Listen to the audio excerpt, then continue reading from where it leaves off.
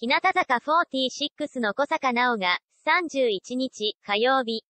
発売の、プラチナフラッシュ、ボリューム24、公文社の通常版表紙関東に登場している。また、日向坂46から山口春代と塩紗里奈、渡辺里奈竹内きらりも登場する。ファンの間では有名な、恐竜好き、の小坂。今回のグラビアでは恐竜を彷彿とさせる、モフモフコートを身にまとい、恐竜のぬいぐるみたちとのメルヘンワールドグラビアを披露。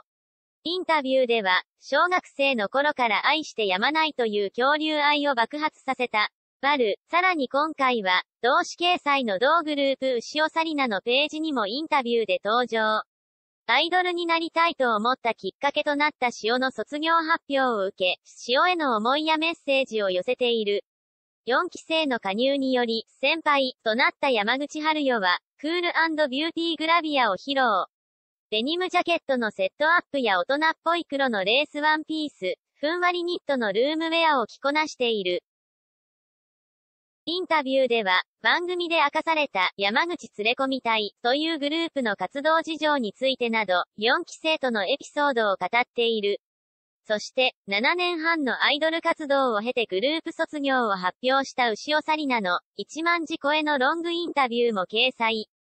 日向坂46の前身グループである、欅坂46の思い出やメンバーへの愛、ファンへの感謝を大切そうに語るインタビューは全、お日様、出読間違いなしの内容になっている。バル、加入して約1年となる日向坂464期生からは、14歳の渡辺里奈と17歳の竹内きらりがグラビア初共演。中学生高校生のペアだが同級生のような関係性だと語る二人の仲良しグラビアとなっている。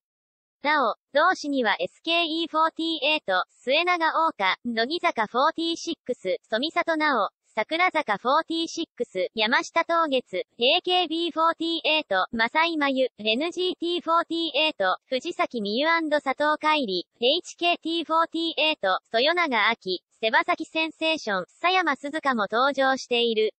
また、通常版表紙の特別付録に小魚を特製クリアファイルが付く。